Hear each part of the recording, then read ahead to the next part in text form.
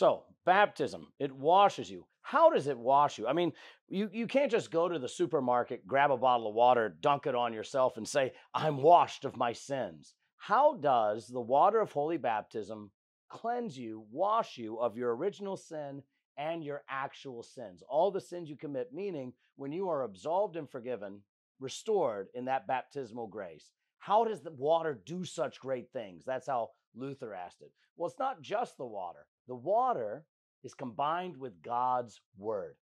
When you're baptized, your pastor pours the water or sprinkles it, however you want to say it.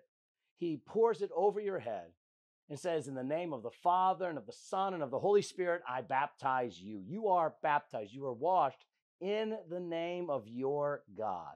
That water combined with that word, that word that Jesus gave to the apostles as he sent them out to make disciples of all nations, as we read in Matthew 28. Go and baptize in the name of the one true God, Father, Son, and Holy Spirit.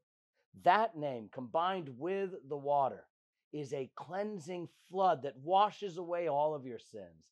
That's what baptism is for you. Water, God's word, combined, you're cleansed, you're washed, you're forgiven. It's always fun times.